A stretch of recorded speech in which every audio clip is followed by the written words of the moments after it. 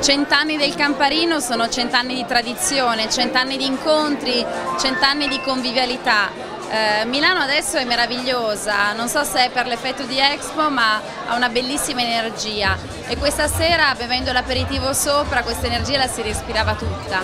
Mm, devo dirti che io non amo tantissimo eh, gli aperitivi, però sarà che il Campari è la tradizione e lo trovo buono, trovo che comunque questa passione arrivi anche mentre lo stai bevendo, insomma questa red passion ti arriva pienamente. Mi ricordo quando sono arrivato qua la prima volta, insomma quando mi sono imbattuto in questo locale storico mi sono veramente sentito a Milano, io ero in piazza Duomo vestito come Totò che provavo in qualche lingua straniera a chiedere dove si bevesse un tipico aperitivo milanese perché noi viviamo sempre, noi fiorentini ma dico tutte le persone che non sono di Milano vivono nel mito dell'aperitivo milanese.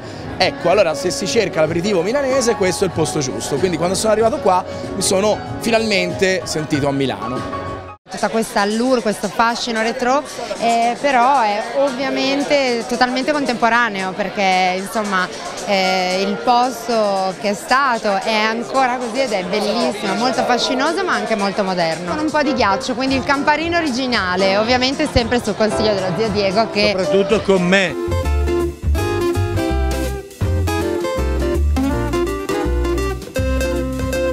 Siamo tre indivisibili, io e lei e il campare. Camparino.